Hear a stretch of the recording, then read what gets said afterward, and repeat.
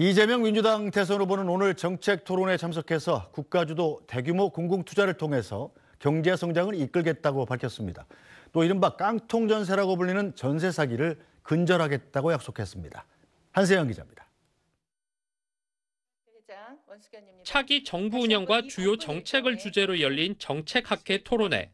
토론에 참석한 이재명 민주당 대선 후보는 우리나라가 에너지와 디지털, 양극화, 불공정의 위기에 직면했다면서 국가 주도의 대규모 공공 투자를 해법으로 제시했습니다.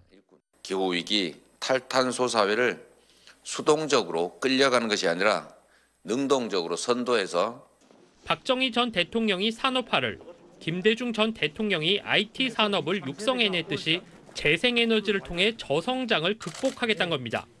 이 후보는 또 자신의 통합 정부 공약이 정치권에서 연정 가능성으로까지 확대 거론되는 것에 대해선 부정적 의견을 피력했습니다.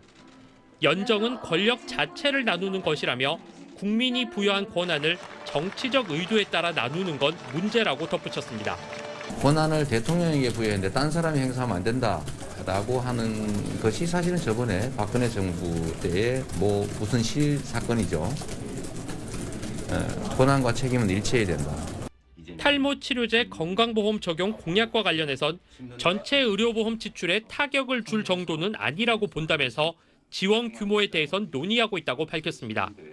부동산 공약도 추가로 내놨습니다. 이른바 깡통 전세로 풀리는 전세 사기를 근절하겠다며 피해 예방 상담센터 확대와 관련자 처벌 강화를 약속했습니다. 앞서 오전엔 세계 가전 전시회 CES에 참여한 우리 기업들과 화상 간담회를 하고 기술 혁신 지원 청사진도 밝혔습니다. SBS 한세연입니다. 안녕하십니까 편사옥입니다. 더 많은 뉴스와 라이브 이벤트를 보고 싶으시면 화면 오른쪽을 눌러서 구독해 보시기 바랍니다. 또 저희 SBS 앱을 다운로드 하시면 속보 알림도 받아보실 수 있습니다. 항상 저희 SBS 뉴스를 시청해 주셔서 대단히 고맙습니다.